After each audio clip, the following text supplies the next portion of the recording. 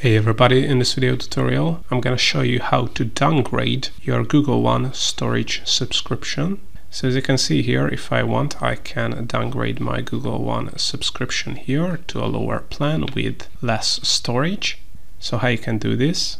Actually at this moment quite difficult to do because if you open up one.google.com and then and then click on the plan section you're gonna see that if you check out your plans you can only upgrade to a higher plan if you want to do that. Of course I'm using not USD but a different currency.